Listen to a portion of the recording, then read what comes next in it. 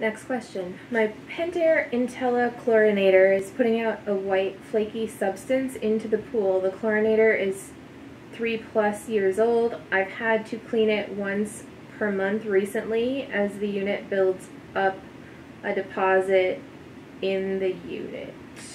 Um, there's a chance that it's on its way out. A lot of, uh, not necessarily just with Pentair, but um, some of the salt cells as they get older, they do tend to flake off more, build up more, but obviously the first question is, is what's your water chemistry like? Uh, if your hardness and your alkalinity, especially if, if those are too high, you're going to have more of a buildup and you'll see that more and more often where you'll get kind of a flakiness on the bottom.